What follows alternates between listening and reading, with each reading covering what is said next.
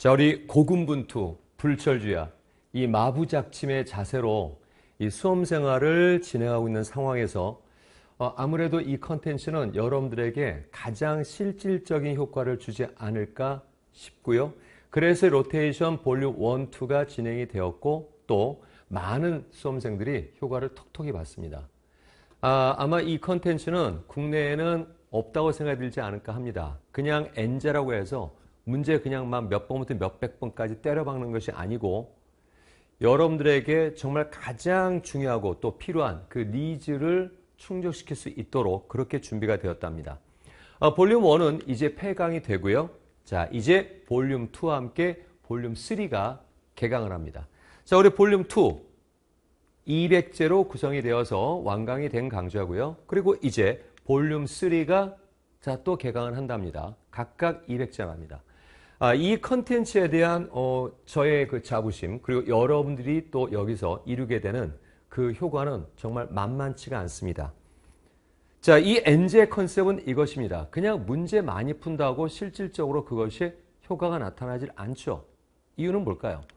우리가 수험생을 준비함에 있어서 어, 떤 커리큘럼 쭉 진행되죠. 뭐 개념 진행을 하고 개념 강좌 진행을 하고 또 이제 뭐 실전목에서 보면서 기출도 보면서 이렇게 진행을 하는데 어, 항상 이 앞부분에 대한 진행을 할 때는 잘 이루어지고 있습니다. 물리학 같은 경우는 운동력학이 이제 앞에 첫 단원을 이루고 있죠. 거의 50%가량. 자, 그리고 이제 진행을 해 나갈 때 이제 뒷부분이 좀 걱정된단 말이다.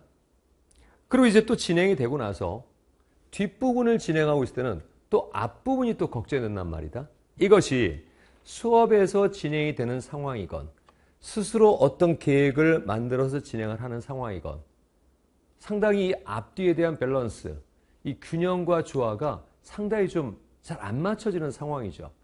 그러니까 시기별로 어 뭐 3월 학평이라든가 또 5월 또 6평이라든가 이렇게 진행을 해 나갈 때 앞에가 괜찮다 싶으면 뒤에서 펑카 펑 나고요.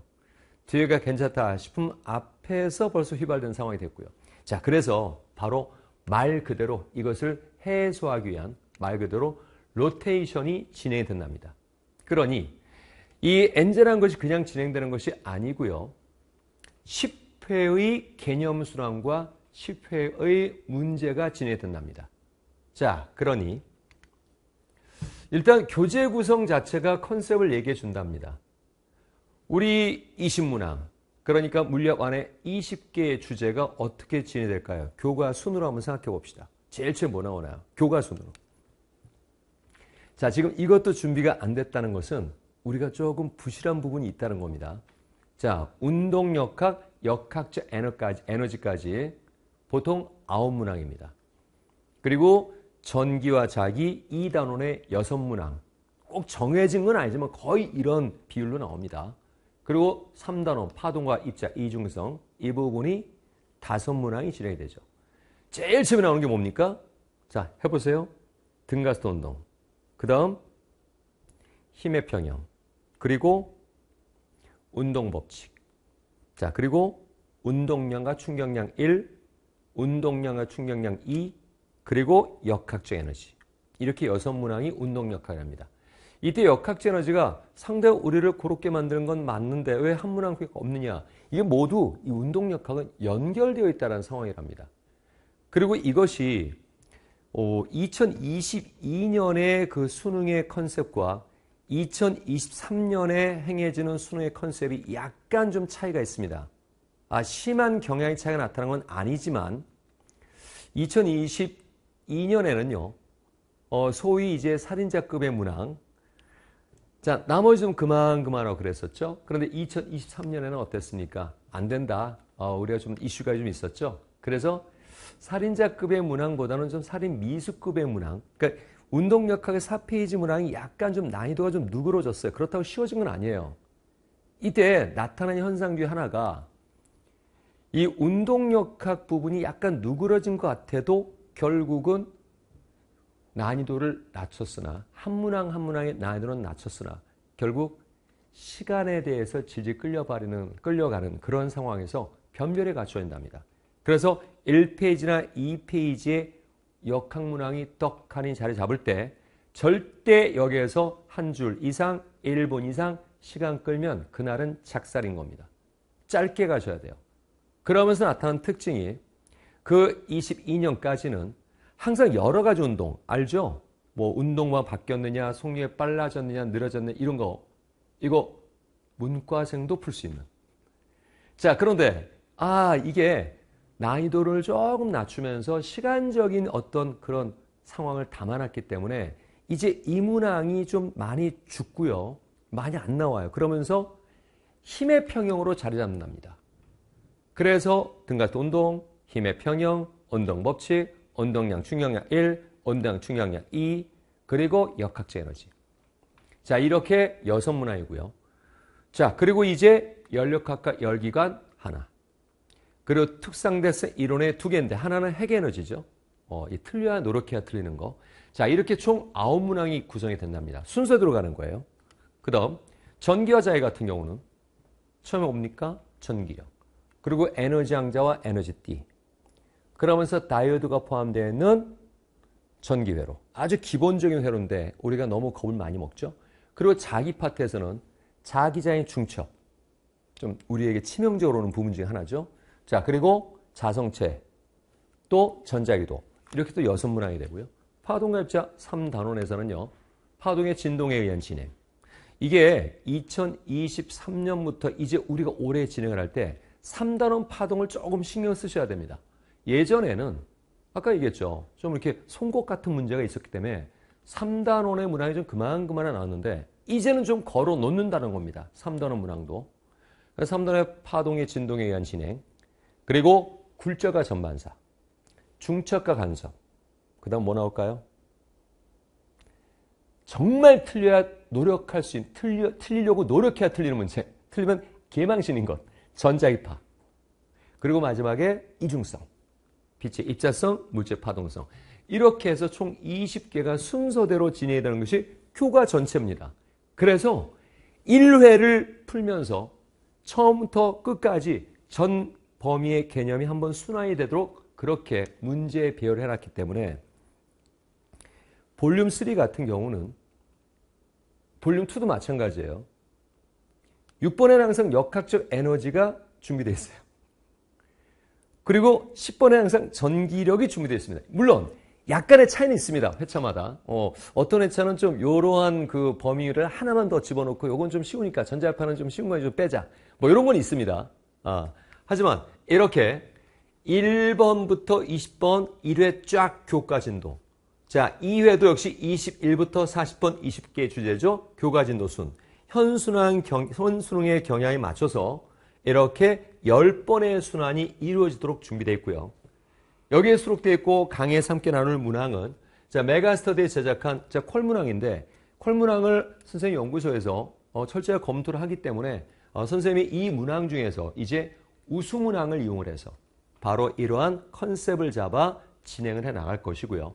어, 이 교재에 이제 해설지가 있는데 이 해설지는 쌤이 만든 해설지가 아니고 이 문제를 제작한 곳에서 어, 만든 텍스트 해설지인데 어, 여러분 알다시피 이렇게 해설 잘 돼 있는데 읽다가 또 새로운 비문학 지문 해석이 이루어지죠.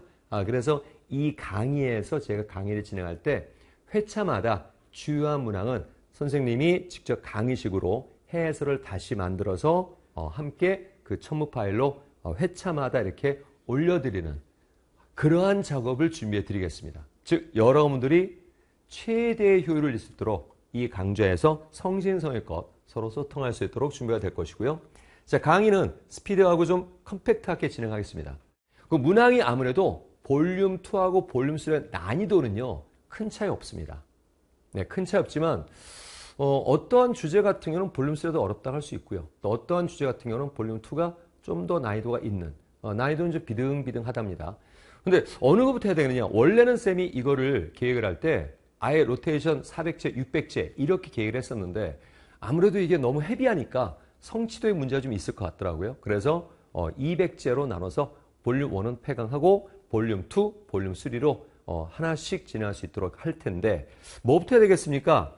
네, 그러면 볼륨 3부터 하시고 좀 더 많은 것이 필요하다면 볼륨 2를 진행하시면 되겠습니다. 물론 볼륨 2는 완강이 이미 돼 있기 때문에 음, 볼륨 3는 이제 완강 이제 개, 이제 진행해 나갈 겁니다. 자, 그리고 이 강의라는 것이 결국은 확신을 가져야 되겠죠. 어, 여러분들 길게 주절절 풀면 이것은 죄악입니다. 심플이스 베스트. 짧게 가셔야 돼요. 명심할 것은 뭐냐면 음, 빨리 푸는 연습을 하면 안 됩니다. 짧게 짧게 가는 연습하셔야 돼요. 그래서 이 수강 대상으로는 자 기출이라는 것 누구든 다 밟고 있는 부분인데 기출의 커리 이후에 아무래도 전체 교과 범위가 좀 이렇게 뭐 산만하더랄까요? 좀 잡히지 않는 그런 경우에 그런 불안정감이 컸을 때 잡기 해줬습니다. 그리고 개념과 문제풀이의 이 차이. 그러니까 개념은 알겠는데 문제가 잘 안 풀려. 아 이것은 같이 수업하신 분은 알죠? 제가 항상 강조하는 개제. 개념과 문제를 함께 가야 된답니다. 자 그래서 이런 이격감 해소를 위한 강조합니다. 또한 아, 학회라든가 각종 모의고사, 모평 이후에 이 20문항에 대한 지구력도 굉장히 중요한 부분이죠. 20문항에 대한 지구력, 시간관리, 또 이 뇌의 웜이 돼가는 이러한 상황. 이것이 아주 자연스럽게 이루어져야 한답니다. 그래서 이런 지구력도 기를 수 있고요. 또한 개념에 대한 충족감과 문풀 확신에 대해서 좀 없는, 뭔가 좀 부족한 그런 경우에 어, 문제풀이의 어떤 그 안에서 생각의 팁이라든가 뭐 skill을 할 수도 있습니다. 짧게 짧게 갈 수 있는 자 그런 부분들을 진행을 할 수 있도록 할 거고요. 자 우리가 역학 역학 얘기를 하죠. 그러나 사실 문항의 비중으로 따지면 이 비역학 파트 상당하죠. 최근에 어떤 친구가 이제 그 모의고사 문항을 들고 와서 틀린 걸 쭉 봤어요. 그랬더니 이 비역학 파트 틀린 것만 모아봤더니 15점의 차이가 생기더라고요. 근데 맞출 수 있었던 부분이랍니다. 소홀히 했던 부분이죠. 자, 그래서 이 역학과 비역학이 항상 상시 웜이 돼 있는 따뜻하게 가동될 수 있는 상시 작동, 작동 상태를 유지할 수 있게 역학은 심플하게 진행이 될 수 있도록 하고 비역학은 실수 불허. 실수가 바로 실력을 나타내는 부분이랍니다. 자, 빨리 풀어 연습하는 거 아닙니다. 짧게 짧게 가셔야 돼요. 무엇보다 중요한 것은 이 문제 풀 수 있어. 이게 제일 무서운 거예요. 여러분들은 문제를 풀러 시험장 가는 게 아니라 시험을 보러 가는 거예요. 그리고 이 수능이란 것은 또 그 시험 이상이랍니다. 물리 잘한다고 해서 수능 물리가 만점 나오는 거 아니랍니다. 즉, 이 긴장된 시간 속에서 정해진 루트, 이것은 풀이법의 루트가 아니라 이 생각의 일관성이 있어야 된답니다. 어떤 압박과 긴장이 있더라도 흔들리지 않고 진행될 수 있는 자, 그런 일관된 풀이, 짧은 풀이가 우리에게 버릇들어낸답니다. 자, 그것을 훈련하고 목표로 잡는 것이 로테이션 볼륨 2, 볼륨 3랍니다. 자, 어, 길게 어, OT가 진행되면 여기서 이제 마무리하고요. 바로 어, 로테이션 2는 볼륨 2는 진행이 되어 있고요. 또 로테이션 볼륨 3도 계속 진행을 하면서 여러분과 끝까지 화이팅 하시면서 같이 하신 분들 알죠? 물리학 만점 맞고 대학 가자라는 거죠. 물만대 하고 외치면서 마무리했습니다. 물만대! 그렇죠. 갑니다. 고!